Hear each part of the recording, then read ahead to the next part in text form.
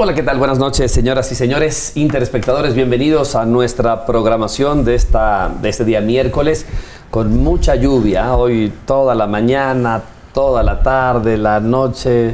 Bueno, acostumbrémonos un poquito porque nos faltan recibir muchas aguas todavía. Y nosotros en nuestra, vum, en nuestra Thunder, que no nos importa el tráfico. Igual, vum, vum, llegamos. Ahorramos gasolina, eh, llegamos a punto, ahora a nuestras reuniones. Me encanta andar en mi Thunder. Y listo. Un día tiene que poner súbete a mi moto. ¿No? En, en, eh, una canción que fue famosa cuando yo era joven. No me gustaban los chicos a mí. Eh, como cantaban, no me gustaban, pero pues, la, la canción hay que reconocerlo, se hizo famoso. Bueno, eh, también le quiero dar la más cordial bienvenida a una nueva empresa que se suma a este trabajo digital. Ya vamos sumando algunas y, les quiero agradecer por la confianza a Ceviches de la Rumiñahui, que tenemos eh, en realidad eh, una promoción para el fin de semana y les tengo una buena noticia. Hoy, esta noche, nos va a dar la gana de sortear tres órdenes de ceviche con bebida a que vayan tres personas, ¿no? A, a, disfrutar de los ceviches de la Rumiñahui, la primera cadena de comida del mar. Espectacular. Un abrazo a, al señor Castro, a Marcelo Castro, a María Fernanda, la de marketing, y a todo el personal de los ceviches de la Rumiñahui. Bienvenidos a nuestra programación.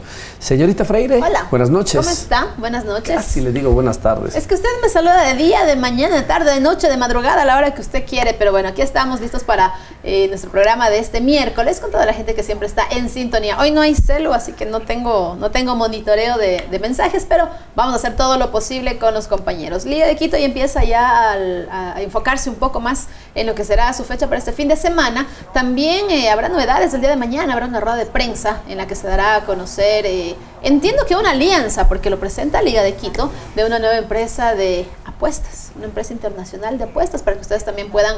Eh, jugar un poquito en esto, pero ya la gente de Liga nos contará mañana. Y lo propio también el pleno desarrollo del partido entre el Club Sport Emelec y el Cruzeiro por Copa Libertadores.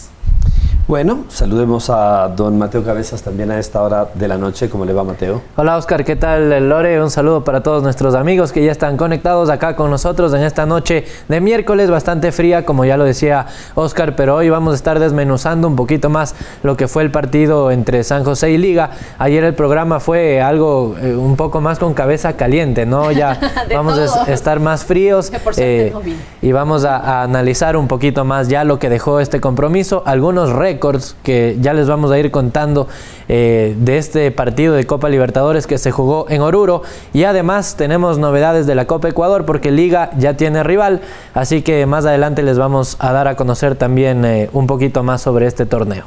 La gente que nos está preguntando a qué hora es el juego de Liga este viernes es en la noche, ¿no? 19.15 y 15 minutos. Eh, yo no sé si vaya a ir mucha gente a ese partido. Liga ya tiene aseguradas sé, como entre 11 y 12 mil boletas o personas que tienen comprado su asignación entre las suites, los palcos y los superhinchas. Uh -huh. Solo superhinchas son un poquito más de 6 mil. Pero no siempre. Los palcos son como 3 mil más o menos, 9 y suites son más o menos unas 3 mil más. Así no vayan, como se dice, ya está pagado ya. Eso claro, ya está ya. entonces, ya. ahora, eso no quiere decir que mínimo va a tener 12 mil personas el partido, porque dueños de suites o de palcos o, o tarjetavientes del liguista, eh, por A o B no van porque están ocupados, porque por cualquier cosa. No les atrae mucho el rival, Eh, pero, por la lluvia. pero si queremos calcular gente in situ, poniendo las nachas en el cemento o en las sillitas, depende del sitio que tengan. ¿Cuántas podemos calcular? ¿Unas 5 mil personas? Más o menos, creería yo, unos 6 mil personas. Ahora dicen que viernes es muy mal día o mala noche para el partido. ¿Por qué? ¿La gente prefiere la farra que el fútbol? La gente también prefiere descansar. Mira que tiene toda una semana de trabajo. Llega el viernes, hora de salir de la oficina y vamos a la Pero casa. el, el pelotero, el futbolero, qué lindo, es un viernes al estadio. Pero no todo. Ahora, lo que yo creo es que la gente está enojada con cómo- por cómo está jugando Liga. Que no llena la retina. Le daban duro a Pablo Repeto ayer. Y no es Y esta responsabilidad mañana. de Pablo Repeto.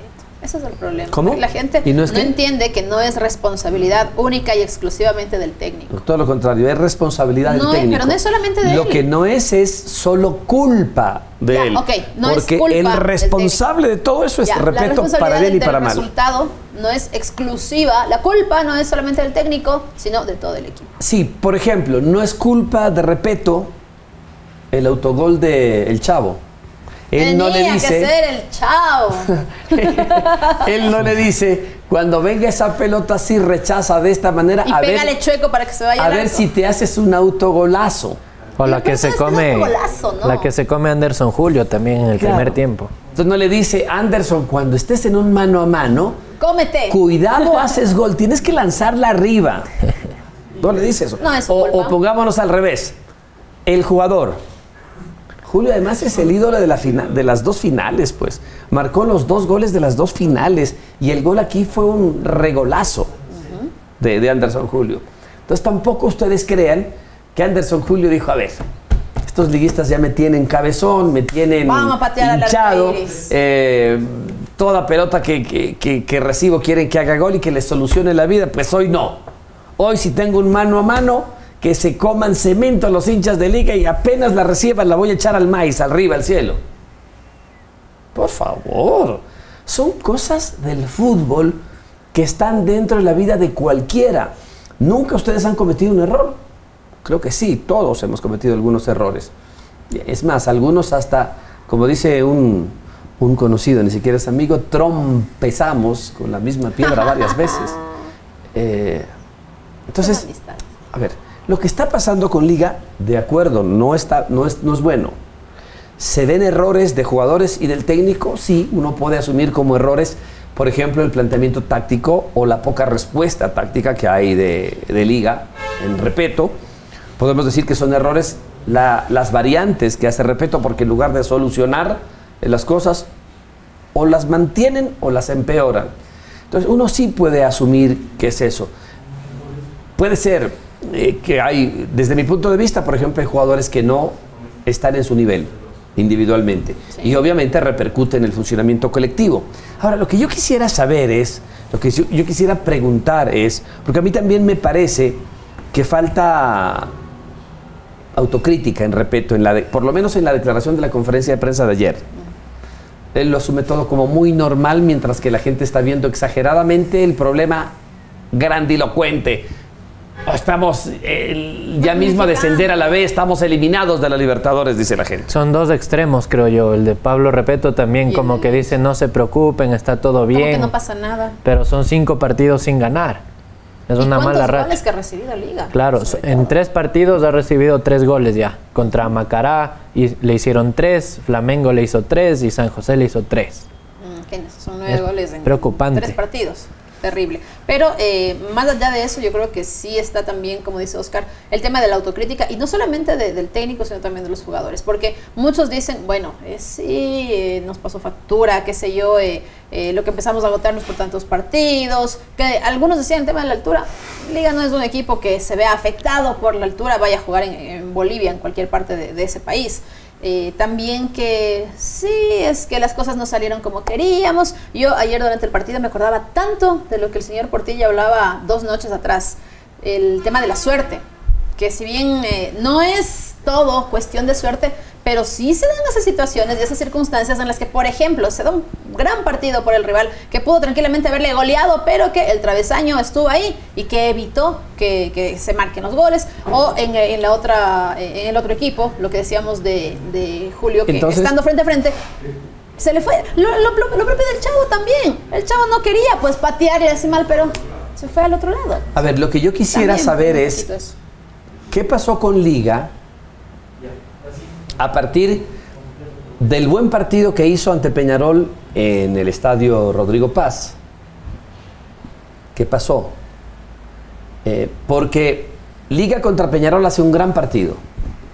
Gana y pudo haber tenido un marcador más contundente que el 2 a 0. Ese fue el mejor rendimiento de Liga. Y claro, venía ya de ser en la tabla de posiciones el líder del campeonato ecuatoriano de fútbol. Y le gana a Peñarol de manera holgada, entonces Liga era lo máximo y el próximo campeón de la Libertadores de América, y a repito le pedían disculpa a algunos por haberlo criticado, etc. Pero de allí acá ocurrió algo que no es normal en Liga. Noten algunos detalles que no son normales. Se le olvidó ganar. Desde ese día hasta hoy, Liga no volvió a ganar. Perdió tres partidos y empató dos. Ese es un punto clave. Desde ese juego hasta hoy se le olvidó ganar, número uno.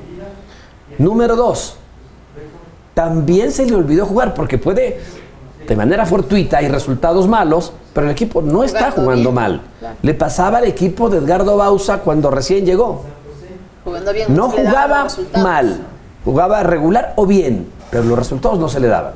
Bueno, ahora, después del partido con Peñarol, Liga está jugando mal.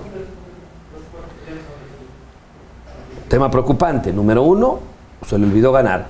Número dos, ya no está jugando bien. Bajó, número tres, el, eh, bajó la calidad individual y colectiva en general de la mayoría, para no decir de todos. Número cuatro, un equipo que era muy fuerte en el bloque defensivo, ahora le hacen un paseo. Le metió tres Macará, le metió tres Flamengo y le metió tres Santa, eh, San José de Oruro. A un equipo que era muy fuerte en defensa, que era difícil hacerle un gol, ahora la Fórmula 3, cada vez que juega le meten de tres. Con Macará fue una saga nueva, pero Flamengo y San José fueron Freire y Rodríguez, claro. Miren estas cuatro cosas importantísimas. Se le olvidó ganar, empezó a jugar mal, bajaron individual y colectivamente la producción, y ya no son el equipo fuerte en defensa. Empieza a dar demasiadas ventajas. Antes le llegaban por las bandas, ahora por la mitad también le hacen un picnic. Antes los dos centrales eran la fortaleza, sobre todo por arriba. Ayer les hicieron un paseo. Entonces, yo sí quisiera, yo no puedo encontrar una explicación, porque desde afuera uno necesita ser mago para saber exactamente desde afuera y diagnosticar cuál es el problema que tiene Liga. Pero desde adentro, tampoco creo que sea tan fácil, pero va a ser más fácil que para nosotros desde afuera encontrar cuál es el inconveniente, cuál es el problema. Eh, sé que no debe ser fácil, pero tienen la obligación de encontrarlo. ¿Cuál es el problema? Me voy a inventar, insisto, no sé desde adentro. Cambiaron la comida, no creo. Cambiaron el, cambiaron el hábito de, de los entrenamientos, cambiaron la metodología, cambió el sistema, cambiaron jugadores, varias de esas ya sabemos que no son, me estoy inventando. Eh, ya el agua no les dan la misma que les daban antes, ya el desayuno no... Cualquier, cosa. Cualquier cosa.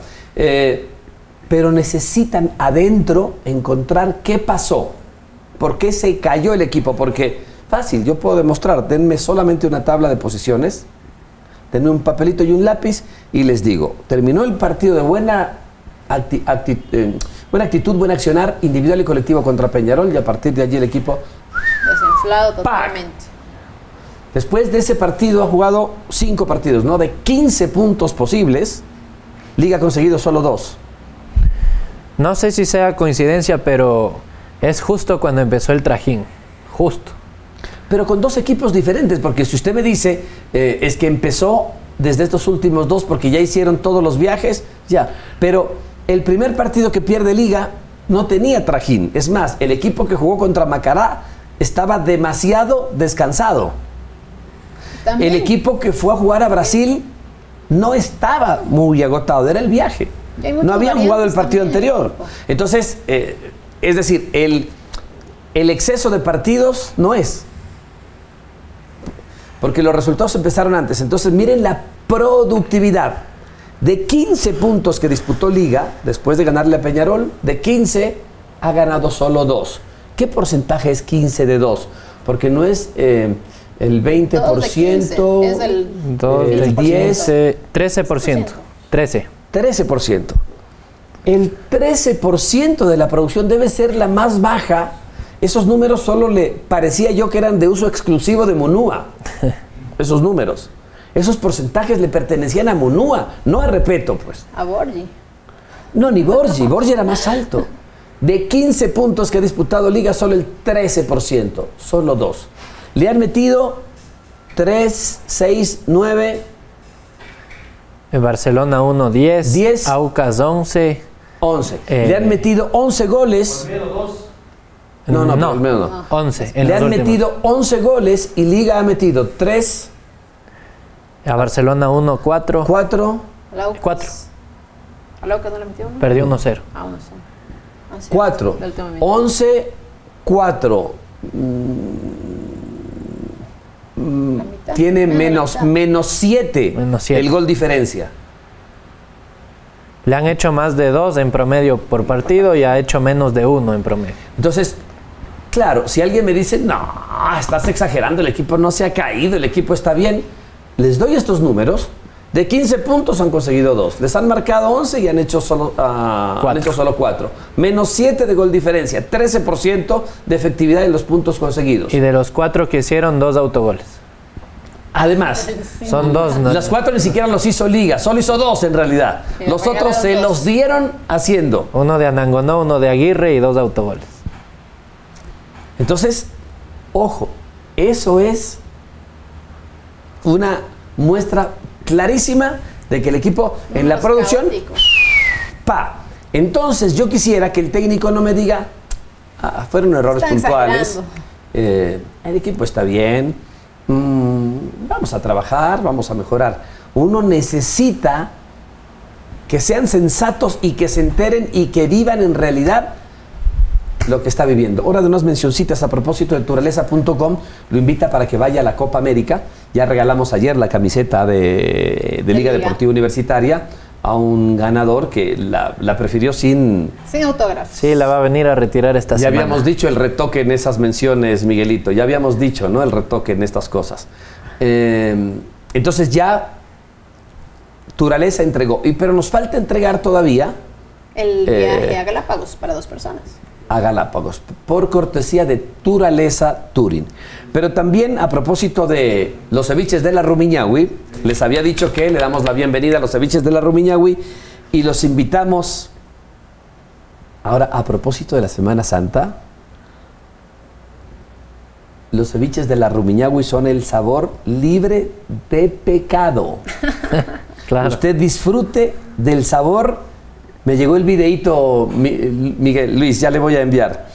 Eh, disfrute del sabor de los ceviches de la Rumiñahui. Un ceviche, un pescado asado o nuestra nueva creación. Es un plato nuevo que tiene los ceviches de la Rumiñahui. El tradicional biche manaba, Uy, uy, que es el nuevo plato, el biche Qué rico. para que usted se lo, lo pueda disfrutar, ¿ah? que es un sabor para compartir. En todos los restaurantes que tiene a lo largo y ancho de la geografía quiteña, pichinchana, ecuatoriana, eh, también en Colombia, también estoy en, Medell- en Miami, los ceviches de la Rumiñahui. ¿ah? Tienen una salsa verde ahí que a mí me encanta. Siempre Todos la- los platos de los servicios de Unas Argentina son empanadas también. Y vamos a regalar ya mismo, solo por el chat del WhatsApp. ¿Del WhatsApp o de la aplicación? perdón. Hable serio, de la aplicación, espere, a señor. Portilla. ¡Ping! Sí, por el chat de la aplicación. Point, point, ya. Ahí está. cabeza. Entonces, Por el chat de la aplicación. atentos ustedes que en cualquier momento, el rato menos pensado, les- Oiga, y para el staff, ¿no habrá también un cariñito? Digo, no, pregunto, porque usted siempre viene solamente probando el nuevo auspiciante y ni caso a nosotros. Hagamos huelga. No, pero ayer sí comimos en Big Pig. Ay, sí, es cierto, ayer, eh, ¿cómo les fue la, Bien, la transmisión? bastante Big bien. Pig? Sí. Nos atendieron de primer nivel. Excelente. La gente puede ir también al Big Pig, a la Plaza, a la Plaza de las Américas, en la América y Naciones Unidas. Más adelante igual estaremos con otras transmisiones desde otros puntos, señor Portilla. Vamos a hacer una transmisión desde los ceviches de la Rumiñahui también. Vamos a hacer Sería programas bueno. desde los ceviches de la Rumiñahui. Eso sí se- que sería excelente. ¿ah? Y que la gente pueda ir también a acompañarnos. Acompañarnos, eso ya está. Por supuesto. Eh, les anuncio que más adelante en este programa, porque ya me está diciendo que sí que lo podemos contactar, Está, pero ay, a don Juan Luis Anangonó, que lo, lo que más quiero ya, preguntarles pues, del gol. Qué gol se mandó Márquele ayer. ¿ah? ahorita. Golazo. No, pues si esto es video, no sea malita. Esto es, te- esto es televisión, esto es Viendo, video. viendo. Solo que vean que no imitador, necesito que, que vean que es del propio. verlo al man. Entonces, Eh, ok, en, en- en minutitos más adelante tendremos a Juan Luis Anangonó hablándonos del gol que marcó ayer en Oruro. Golazo. Sí. Golazo. ¿Quién le pasa? Chicaiza, ¿no? Sí. Sí, Chicaiza fue. Chicaiza le sí, da. el le el Pero ahí, allí, por ejemplo, a mí me parece que sería una exageración decir que Chicaiza le hizo un pase gol. Fue casi obra de Anangonó el gol todo. Pero lógico, O sea, pues, todo. si lo recibe, ¿cuántos metros? 15 metros afuera de las 18. De allí se frena, Menos. engancha, hace una diagonal él y adelanta unos metritos. Y el remate está que unos 5 o 6 metros fuera de las 18. Y cruzado, un golazo. Fortísimo remate. Entonces, Muy ahí sería una exageración decir que fue un pase, Pase gol. un pase gol, ¿no? Pero bueno, fue, fue la, la- la asistencia previa en tal caso. Pero muy, muy buen gol el de Juan Luis Anangonó. Considerando ¿Qué que tenemos en video para pasarlo? Autogoles. ¿no? Podemos revisar los videos, el gol de los goles del partido de ayer para irlos No, analizando. pero un poco. necesito que Ah, tenemos entonces eh, una nota, a ver, de las que tenemos acá. Eh, vamos con... Se hablaron de algunos récords que se mandaron, que Sí. se marcaron ayer. Tenemos los récords del partido Porque entre ayer San José fue, y Liga. Fue algo ya muy anecdótico el tema de eh, la cantidad de autogoles que hubo, dos, dos Ya, autogoles de un mismo entonces. jugador y demás, algunos datos curiosos que se dieron justamente en este partido. Vamos entonces a mirar la nota con los récords que dejó este encuentro de ayer. En el partido de ayer entre San José y Liga se impusieron varios récords. En 5.596 partidos disputados hasta la fecha por Copa Libertadores, fue el primero en marcarse tres autogoles. Y además del defensor colombiano César Mena, se convirtió en el primer jugador de la historia en esta competición en marcar dos tantos en propia puerta en un mismo partido. No pasa nada César, te mandamos muchas fuerzas.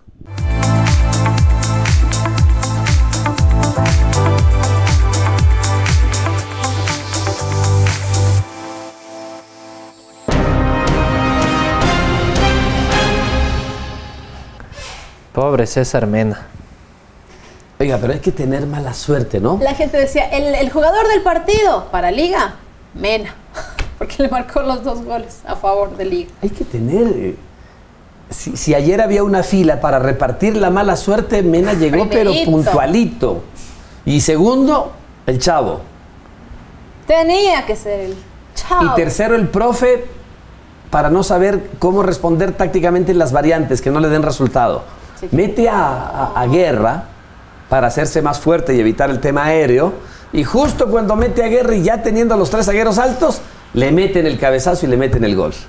Y sacó a Chicaiza, luego ya no hubo generación de fútbol adelante. Y jugaba bien Chicaiza. Estaba jugando bien. Y el sábado también con Barcelona tuvo un buen partido. Pero ya lo sacaron, lo metieron a guerra, empezó a jugar con cinco defensores y ahí se complicó la cosa para atacar. Y ya cuando faltaba poco también, porque el, el momento que Liga está con dos goles arriba en el marcador, estaba ya, eh, bueno, no definido, pero por lo menos ya estaba todo encaminado para que el resultado sea positivo para el equipo visitante. Aún así, eh, la falta también de esa fuerza que necesitaba la defensa, la falta de generación de juego en la parte de adelante, los errores que cometen también le termina costando eh, esos dos puntos que después pueden ser eh, primordiales en caso de una posible eliminación. Veamos cómo le va a Liga con los otros compromisos y eh, también los, los otros resultados que se, que se vayan dando justamente entre todos los, los eh, equipos de este grupo. Exactamente. Eh, justo ahora están jugando Flamengo y Peñarol. Hay que ver cómo sale ese partido. Cómo termina. Claro, y también el de Cruzeiro, que lo estamos transmitiendo también, ¿no? El de Cruzeiro Emelec. Cruzeiro Emelec. Eh, Emelec no les vamos a decir el desde resultado Guayaquil. para que si quieren Déjense. cámbiense a nuestro otro canal. para que sigan la la... aplicación. simultáneo. Diego Sport, por supuesto. Bueno, eh, entonces eso, ¿no? Esos números que hay que revertirlos. Lo que sí estoy de acuerdo con, con- con el profe Repeto es que, ya, ya tengo el otro videito. Lo que sí hay que, estoy de acuerdo con el profe Repeto es que la única manera de salirse de todo esto, uh, pero me lo hizo vertical, no importa. La única manera de salirse de todo esto es que se trabaje bien. O sea, hay que trabajar. No, no queda otra. Solucionar cuáles son los problemas, los errores. Se les, es- les están generando muchas llegadas por las bandas. Hay que poner un, un cortocircuito, que buscar una fórmula. Por la mitad Entra también les están llegando los zagueros. Ok, entonces hay que trabajar. O sea, en eso estoy totalmente de acuerdo. Ahora, ¿Cuál es la solución? ¿Votar a Repeto? No. Repeto le demostró a la gente con Independiente del Valle cuán lejos puede llegar. Repeto le mostró a la hinchada de liga que cuando después de los logros internacionales pasaron por liga, de lo que me acuerdo, si, me- si hay algún otro nombre me lo, me lo, me lo recuerdan. Bausa, Cosa. Subeldía, Borgi, Aguinaga, Gutiérrez, Salas, No, no. Monoa. Munúa, siete he dado, ¿ah? Vamos a repetirlos estos siete. Bausa, en su retorno, le fue muy mal. Eh, Subeldía, no le fue tan mal, quedó subcampeón, pero pudo haber quedado tres o cuatro fechas antes de que termine campeón, no pudo hacerlo, tenía un equipo limitadísimo. Después se fue y ni lo recuerdan, Subeldía. Eh, después vino Borgi, no, no, no sé si en ese orden, en, en desorden. Borgi, Gutiérrez, Aguinaga, Munúa, Salas. Salas, que tú dirigió un par de partiditos, Salas. Y después llegó Repeto. y Enrique. Los siete no pudieron ser campeón con liga. El que más cerquita estuvo, sube el día. Llega Repeto con un equipo, entre comillas, remendado, porque también, al igual que Bausa, por ejemplo, que contrataron como 19 o 20 jugadores y no lo pudo hacer funcionar. Repeto, si bien es cierto, no jugaba una maravilla, pero el equipo sumaba puntos, sumaba, sumaba y era jodidísimo hacerle un gol. Y termina jugando bien, ganando con contundencia las dos finales y termina siendo campeón, lo que no pudieron siete u ocho técnicos atrás.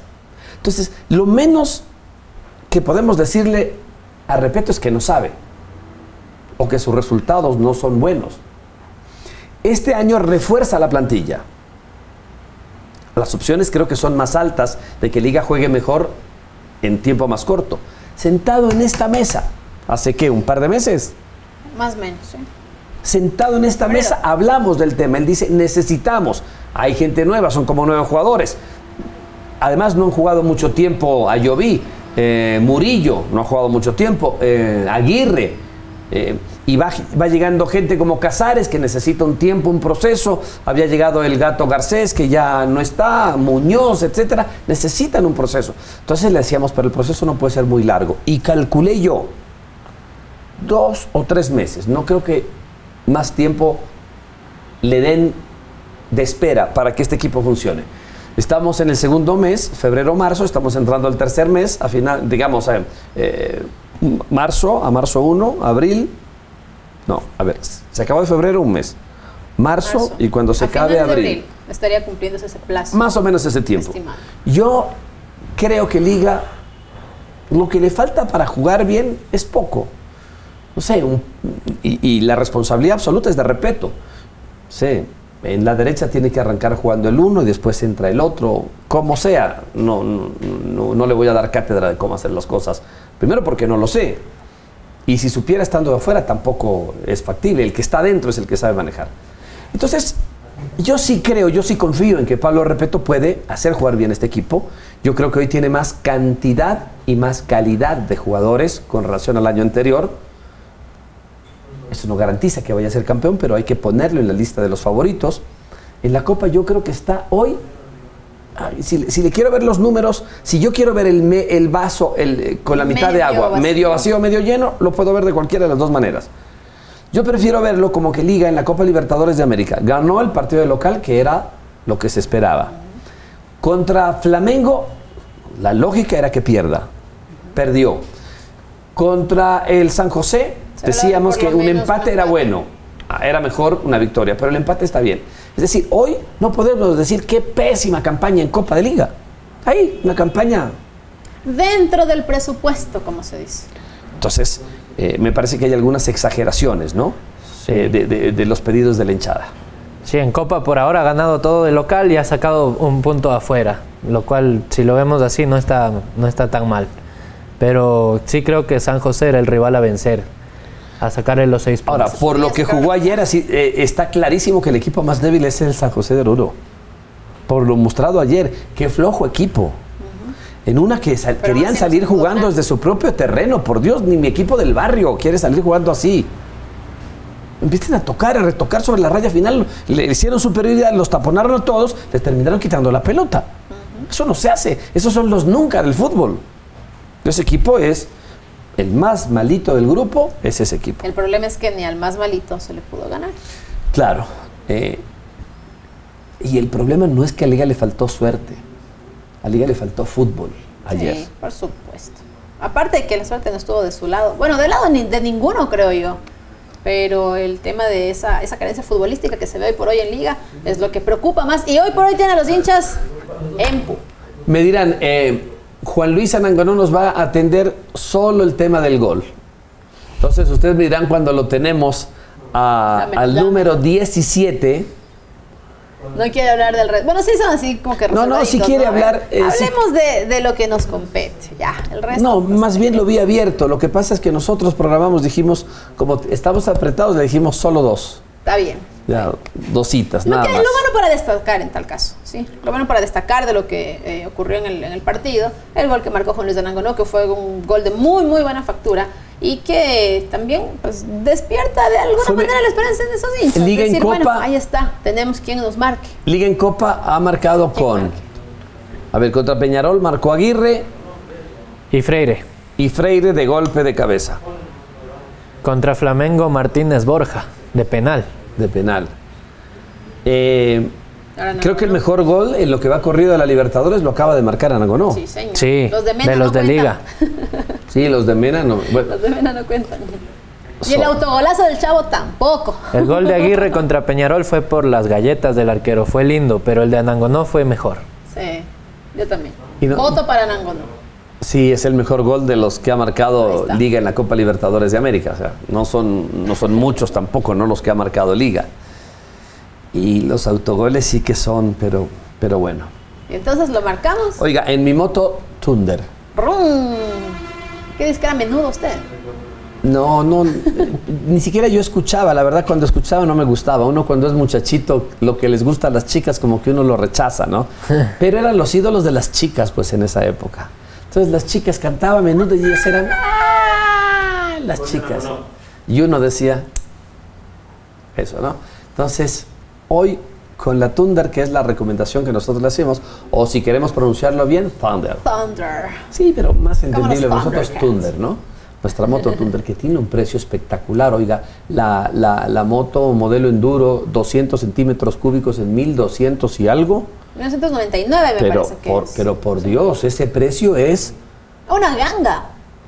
En una moto de esas, ¿usted cuánto se gastará la semana para andar haciendo las gestiones? ¿Un par de, par de dólares? No creo que llegue a tres. Menos de lo que paga en un bus. Con una comodidad enorme. Llega pronto a todas partes. eh, no tiene que estar esperando No le hace bus. calor. No le pasan a las 6 de la tarde como si en el trole. Uy, O sea, nada, usted fresco. ahí está, mire. 1299. Además dólares. puede llevar a otra persona también. Ah, claro. Claro, entonces ahí cuando usted Ahí lleva a otra persona, ahí. ahí es donde le Agarre. pone, súbete a mi moto. Ahí ¿no? está. Más allá te voto. bueno, eh, tenemos a Juan Luis, entonces. Listo, bienvenido maestro, un golazo, un gol de crack para, para mi gusto, acabamos de conversar aquí en el set, tremendo gol. Cuéntanos un poquito la historia de ese gol, eh, porque la recibe muy afuera.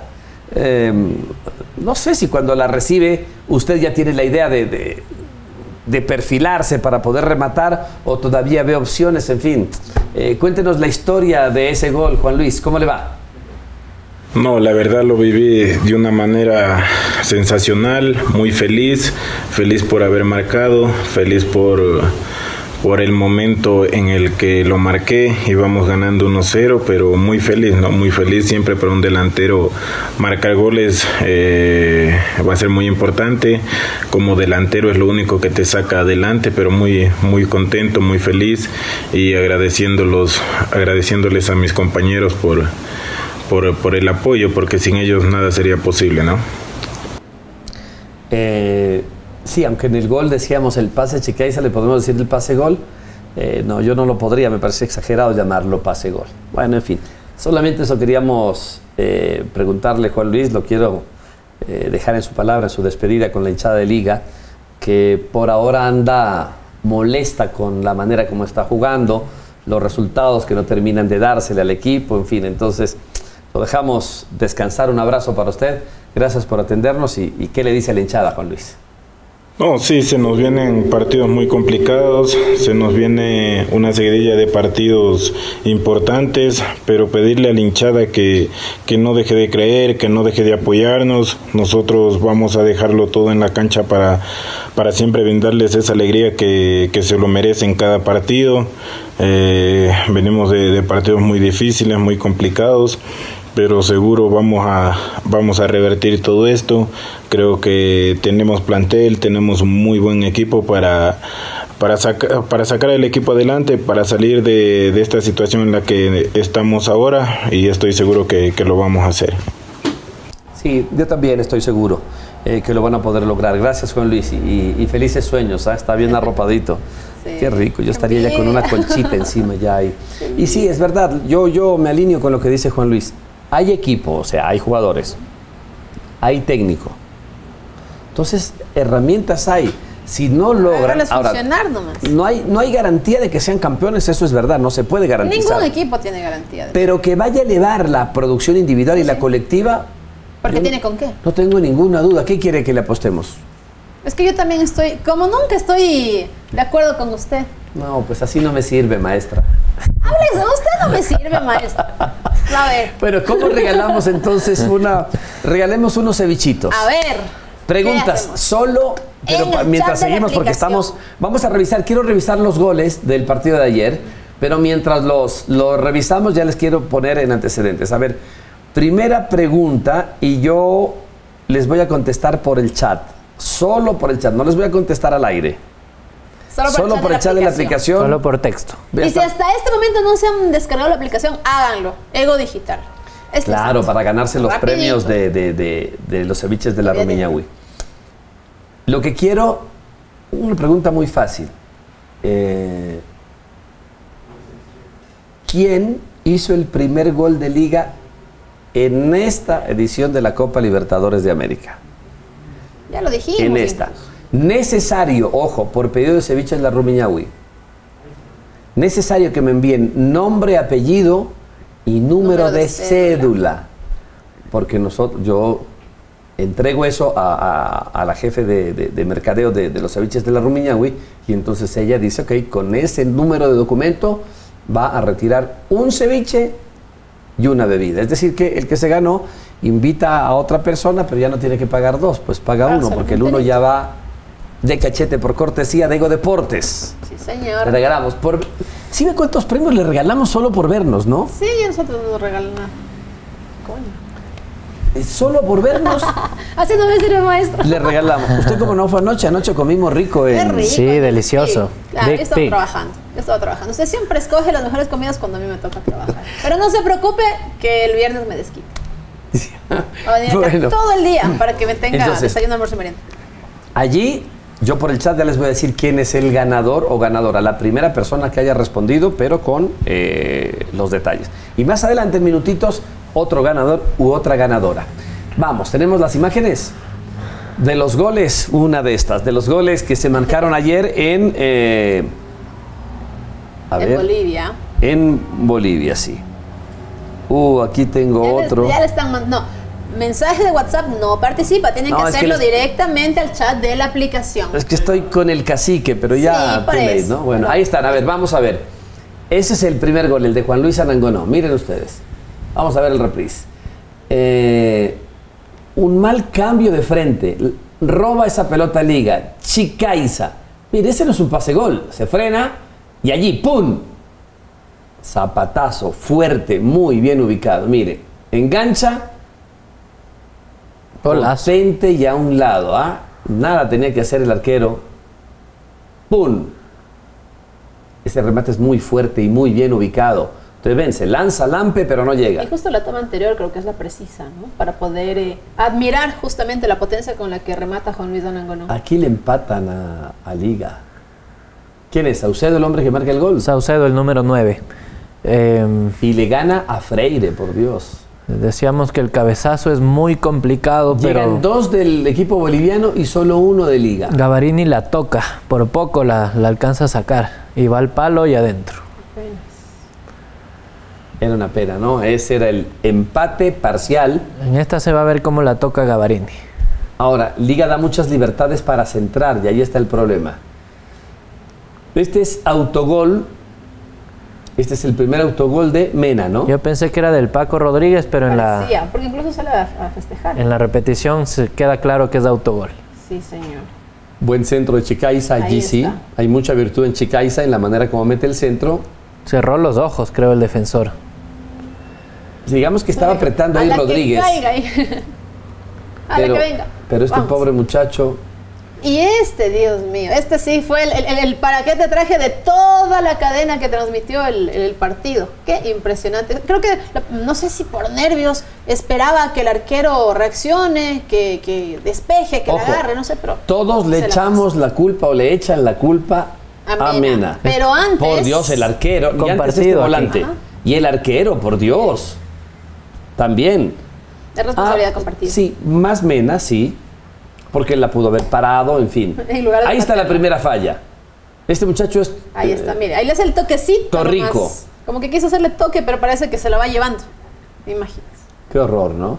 Terrible. Y acá, Y vea como si ya no, no, no hubiese sido suficiente, tenía que ser el Casi a jugada seguida del otro Sí. autogol fue esta. Y se dieron, los goles se dieron así, ¿no? Fue Sí. una- el gol de Nangonó, la alegría le duró poquito a la hincha de liga porque vino el empate. Después, los dos autogoles y viene el tema del chavo que fue, ¿qué? A los dos, dos, tres minutos porque fue autogol de. La quieres- de San José, Quieres de sacar Liga. con la pierna que no es hábil, con la derecha. Sí. Y después, ya minutos más tarde, viene el, el tanto que ponía el empate y resultado final. Algunas veces le cabecearon a Liga en, en el área y una de estas fue el gol. El gol. La fortaleza de los centrales debería ser el juego aéreo, pero Lo había sido en algunos partidos. Había. Había sido. Pero bueno, eh, qué drama, ¿no? Con, con- con el resultado y con el accionar del juego de Liga Deportiva Universitaria. No, no deja satisfechos a los hinchas, eh, no deja satisfecho al cuerpo técnico. Ellos mismos, los jugadores, no estarán satisfechos. Lo acaba de decir Juan Luis Arango, ¿no? O sea, ok, vamos a ver cómo nos, nos arreglamos un poco más adelante. Bueno, tenemos el festejo de, del gol de Anangonó, como lo vivimos en Ego Sport Radio. Póngale para ver. ¿a qué festejamos? Claro. Ah, festejaron. Verá, yo este instante le voy a dejar porque voy a ir a ver en la computadora todo lo que hizo usted en el partido de, de- en la transmisión de ayer de Ego Digital. De Vaya- Ego vaya, acompañe Voy a mejor a revisar. los que están transmitiendo el partido ahorita de voy Copa. a revisar y verá que vamos a sacar todos esos, esos, esos bloopers que usted debe tener también, porque bueno, no es para criticar, pero mm, ahí tiene también unos. Ah, jugando unos pelota, no, yo tengo, debo tener un montón de bloopers. No, y Af- transmitiendo también. afortunadamente no me han filmado la mayoría, pero por ahí está, si ustedes buscan aquí en nuestro canal, hay un partidillo que hicimos con el equipo de la radio acá arriba en la, en la Granda Centeno. Allá hay un autogol que me hice. Solo que no a a rechazar revisar. y la metí, sino estaba parado, me rebotó la pelota, me pegó y se entró. Pero mientras Sí, tanto, sí. entonces veamos lo que ocurrió ayer eh, durante la transmisión de Ego Sport eh, desde el Big Pig. de las Exactamente. Américas, y cómo vivió el staff de Ego Deportes el gol que marcaba Juan Luis Anangona. Vamos a Vamos a verlo. De Liga Deportiva Universitaria, Juan Luis Anangonó, casi 25 minutos, perdió una pelota Torrico, la ganó en la mitad de la cancha. Primero el Chavo Cruz, luego Chicaiza y Anangonó que se acomoda y un rebate furibundo fortísimo de botín derecho. Nada puede hacer la marca de Demir Rodríguez, ni tampoco el golero Carlos Lampe. Y a cobrar 25 minutos en el primer tiempo. Y Liga, Liga, Liga, Liga, ya está ganando en el Jesús Bermúdez Oruro. Le está ganando 1 a 0 al San José. No, no, no, no, no, don Carlos Lampe, nada que hacer. Liga está ganando en Copa Libertadores de América 1 a 0 el balón en el fondo de las piolas. Bueno, mm, hora de recomendarles las motos Thunder. Para evitar estos tráficos tan terribles que hay en la capital ecuatoriana, saludamos a don Luis Romano. Para evitar eso, vea usted esta linda moto. Precio normal 1.500 dólares, ahora 1.299 dólares, sin entrada, sin garante, con premios especiales. ¿Cuáles? Eh, un casco, 10 mantenimientos Excelente. y la matrícula gratis va por cortesía de la fábrica, venta de fábrica Thunder. Hasta el 6 de abril está la promoción. Excelente. Bueno, Para buenas todos noches, compañeros. ¿no? ¿Cómo le va? que nos acompaña. Yo necesito una moto Thunder entonces para poder llegar más puntual a, a mi trabajo. Mucho tráfico también se dificulta eh, en la ciudad de Quito y seguramente con una de estas motos llegamos muy rápido eh, y muy cómodos también a todos nuestros destinos. Bien, y voy a sortear la segunda orden de los ceviches de la Rumiñahui. Por ahora podemos hacer dos, pero necesito una, una, una preguntita que, que resulte curiosa. ¿Alguien tiene algún dato ahí pre- para preguntarles? ¿Cuántos partidos han jugado hasta ayer el de Liga Deportiva Universitaria en Copa Libertadores? Hasta el de ayer de Copa. En la historia de En la la, historia. No, pues ese número Lo no es tan revisamos hoy. Qué difícil eso, ¿eh? Lo revisábamos hoy en nuestro segmento, pero bueno, algo más Sí, está- sencillo. los vamos a complicar mucho, algo así, algo un poquito más sencillo que... A ver. Eh, la idea es que se ganen el premio, no que no, que no ganen, ¿no? El, el goleador de liga este año. ¿Quién es Esa el puede ser, esta- esa está fácil. Perfecto. ¿Quién es el goleador de Liga Deportiva Universitaria? Pregunta para que se gane una orden de ceviches La Rumiñahui. ¿Quién es el goleador Una hasta pista, hoy, tiene cuatro goles en el año. hasta Ya. hoy de Liga Deportiva Perfecto. Universitaria? ¿Quién es? Y lo hacemos por cortesía de los ceviches de La Rumiñahui. Sabor libre de pecado. Disfruta del sabor de los ceviches de La Rumiñahui. Un ceviche, un pescado asado o nuestra creación con tradición manaba, el biche. Sabor para compartir. Ah, lo que tiene los ceviches de la Rumiñahui. Y la primera persona que responda, número de cédula me tiene que poner. Número de cédula. Teléfono para llamarlo. Y póngame teléfono también, eh, la persona que ganó antes y, y- y ahora. Porque con, con eso les decimos, ok, a tal local usted puede ir a retirar y solamente con su documento. No necesitamos enviarle eh, ninguna carta, nada físico, sino su número y listo, va a retirar. Y, y va a reclamar su premio por cortesía de los ceviches de la Rumiñahui. Riquísimo. Y le, y le contesto no aquí, no, sino por, Chat de la aplicación. por el chat. Y ahí lo coordinamos también para ver, para decirles un poco más adelante dónde van a retirar los premios de ceviches de la Rumiñahui. Y lo que vamos a hacer para que lo coordinemos es que antes de que se acabe el partido, eh, en el partido de Melec también regalemos una orden. Partido Ah, de Melec Perfecto, ahí Cruzeiro. se va la tercera. Entre eso. los oyentes que estén allí, Perfecto. se ganan una orden de los ceviches de la Rumiñahui. Sin problema, claro. Que aprovechen también los que nos están escuchando en el partido. Reacciones de Repeto y Guerra, ¿no? Tenemos las reacciones, sí, después de lo que fue el partido. Eh, Repeto habló en la rueda de prensa y Franklin Guerra habló también un poco de, las, de los errores que, que tuvo la defensa. Eh, Repeto también decía algo que no solo fueron distracciones, que también puede afectar la parte física.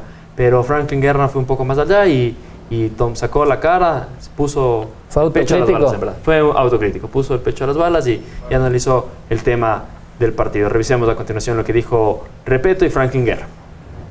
Sí, que, que te convierta en tres goles a nadie le gusta, pero no es fácil, el rival arriesgaba mucho, eh, metía mucha gente en el área, iban por fuera y metían tres, cuatro en el área, este, y, no era fácil no contenerlo. Después, a partir de eso que arriesgaban, también dejaban espacio y por eso nosotros este, convertimos goles y estuvimos cerca de convertir alguno más. Creo que después que nosotros tenemos la ventaja, este, habíamos, teníamos tres zagueros de buen juego aéreo, le dimos vida, los levantamos para que sigan peleando. Y, y dentro de esa pelea nos dieron un golpe de- en una jugada de pelota parada cuando pensamos que, que por esa vía, de acuerdo a las características nuestras y a las características del rival que estaban en cancha, íbamos a tener más chance nosotros. Pero bueno, tiene esas cosas el fútbol.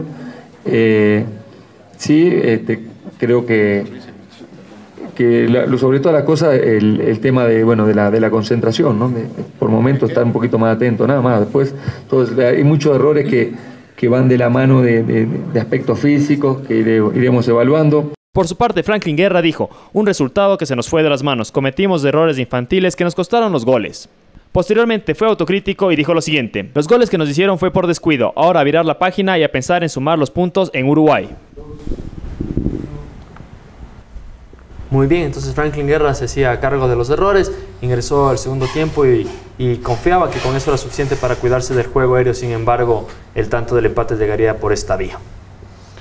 Bueno, eh, mire, en, en este rato, eh, cualquier palabra mal puesta, cualquier coma, eh, cualquier signo de puntuación, cualquier énfasis puede ser para la polémica. Eh, una cosa dijo el uno, otra cosa dice el otro, en fin. Yo creo que eh, Liga tendrá que trabajar, corregir los errores que tengan y Liga tendrá que demostrar en la cancha. Se le viene un partido, ojo, esos partidos a mí no me gustan.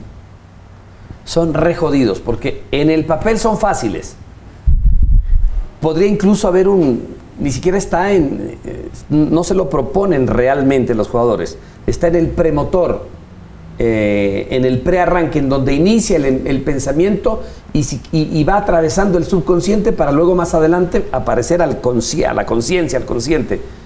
En el premotor, en el subconsciente, partido fácil, lo ganamos eh, sin despeinarnos mucho y salen los rivales bravísimos, en cambio, que se juegan la vida y se le complican el partido. No quiero ni pensar si Liga no gana el viernes, no Ah, quiero ni pensar. Acaba de ganar su primer partido el técnico universitario en la última fecha. Viene de una victoria el, el equipo de Frías. Por ahí se, no sé si está bien utilizado el término, no creo. Por allí se enracha, Claro, llega- al menos motivado llega después de haber conseguido Perdió seis y ganó uno una, hasta una ahora. victoria. Claro, puede llegar motivado y obviamente va a ser un partido duro también para, para el técnico en, en casa de Liga Deportiva Universitaria. Complicado. Habrá muchos cambios, creo yo. Y Liga. hablando de Liga Deportiva Universitaria, se pudo conocer también ya el rival de la Copa Ecuador. que ¿Con quién juega Liga? ¿Con un equipo de Azuay? De, Cuenca, precisamente, el equipo que estará enfrentando. ¿Cómo se llama? ¿La Gloria? La, Gl- La Gloria. La Tenemos el cuadro de cómo queda esta Copa Ecuador para ver eh, si va avanzando Liga, contra quién le iría tocando. Mire, más en octavos de final le puede tocar el Olmedo. El Olmedo sería en la llave con la que está. Lo interesante es que eh, de, todos los, de todos los partidos que hay, solo uno no tiene un equipo de la Serie A, Delfín eh, Instutec, Insutec, perdón. Todos los demás son contra cuadros de la Delfín primera. es de la A. vamos a Ah, suponer, sí, de, de- perdón, sí, Delfín también es de la A. Todos vamos a hacerle el camino a Liga campeón de la Copa Ecuador. Eso. La Gloria ¿Cómo sería? Entonces, supera la Gloria y tendría que enfrentar en el papel, podría ser al Olmedo. sería el más Olmedo. fuerte, el Olmedo. Si le gana al Olmedo, en la siguiente fase le tocaría Super enfrentar clásico. al Aucas. Aucas. Cuartos de final, Si le gana al Aucas, ya le tocaría jugar, Emelec. enfrentar la final a Emelec. semifinal. Semifinal. Final con Barcelona. Y en la Final con final Barcelona. con Barcelona. Es un camino complicado, ¿ah? La Pero semifinal es complicada para Liga con, con, con, eh, con Emelec. mire que Olmedo lo, lo complicó en la primera fecha. Olmedo lo complicó, pero con, con Emelec sería una semifinal durísima, revancha de la final del torneo pasado. Mientras que Barcelona, yo creo que cuando se enfrente con Independiente, podría tener un rival complicado. Sí, yo creo que hasta los cuartos Barcelona llega tranquilo. Sí, con Independiente sería un partido complicado. Eh, Mushukruna, Delfín, podría ser el siguiente partido de, después de que pasen la La- primera o la Católica. La Católica puede ser Católica también. con Cuenca seguramente también. Sí, enfrentarse Católica, después Cuenca. Podría llegar Católica a enfrentarse con Barcelona en la semifinal. Algunos también. cruces parejos, veo Católica. yo. Por ejemplo, el América Liga de Puerto Viejo, parejo. Uh, claro. Y, eh, Católica que se enfrentará al, al puntero de la Serie B, Independiente Junior. Ah, Entonces, claro, también es buen equipo. Es buen equipo, es un partido interesante porque Técnico con Liga de Loja, parejo. técnica Liga de Loja. América, Liga de Portoviejo, con la Capira. Guayaquil City, Clan Juvenil, también lo veo medio parejo. Es un partido que debió ser de la Serie B. También si no cambiaban el reglamento, ahorita estarían jugando los dos en Serie B, Clan Juvenil y... La gran sorpresa de la primera fase podrá darse entre el Nacional y Anaconda, por ejemplo. No creo. Nacional llega a un equipo muy golpeado, en verdad. Yo creo que para octavos deberían estar todos los de la Serie A. Lo voy a, a leer públicamente, esto que tiene que... Léalo usted, por favor. Eh, hoy de mañana, no, no de mañana, en realidad hace un par de horas lo llamé a, a Pedro Mauricio Muñoz porque quiero hacer un acercamiento, quiero hacer una entrevista con el bolillo Hernán Darío Gómez porque la he prometido aquí públicamente, ¿no? Hacer la gestión porque quiero conversar, o sea, quiero cara a cara conversar de los detalles con el profe Hernán Darío Gómez. Eh, me sorprende la respuesta, pero en fin, ya me acaba de responder Pedro Mauricio Muñoz, que es el coordinador de la selección nacional. ¿Qué dice? Oscar amigo, el profesor me indica que por esta vez preferiría no seguir hablando del tema, que ya se ha hablado bastante y que espera que pase un tiempito para poder conversar contigo. Puede ser antes de la Copa América y que tú sabes que contigo conversa sin problema. Gracias por la comprensión, estimado amigo.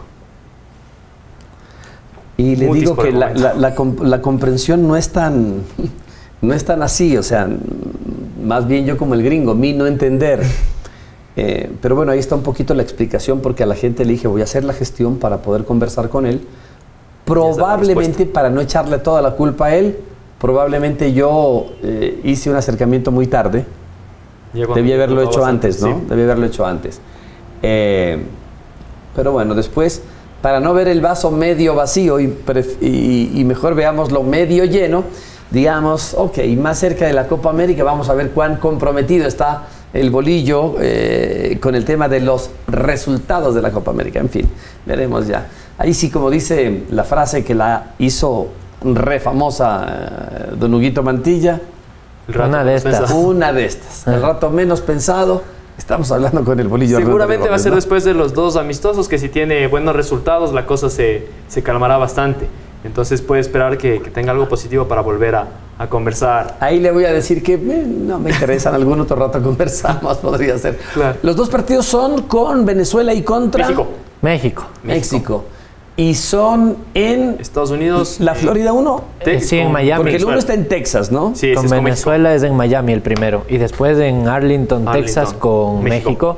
Y después va directo ya a la Copa América. No Ya. regresa al país. Viaja directo a Brasil. Ya es a el Belo mismo. Horizonte va a ser base, ¿no? El mismo grupo que disputa esos dos amistosos viaja directo a Belo Horizonte. Belo Horizonte va a O ser no sé si el mismo grupo, porque podría pasar que allá lleva un grupo. ¿Cuántos irán a la Copa América? Creo que 23. 23 debería ser.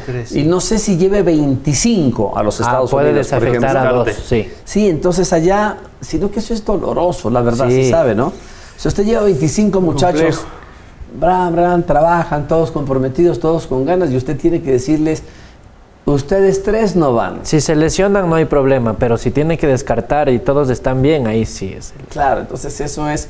Pero en cambio, el tiempo como que se aprovecha porque usted lo separa. Usted dice, a ver, eh, vienen todos y de repente digo, don Luis Romano no alcanza, no va a ir. Eh, decirle, no va a ir, qué feo, pero... Después de la ilusión. pero tenerlo esos días para que trabaje y todo. Entonces, si se tiene que quedar porque se lesionó otro, eh, en cambio está a punto. Sí, está claro. concentrado, está transpirando, está viviendo concentración, está viviendo la Copa América.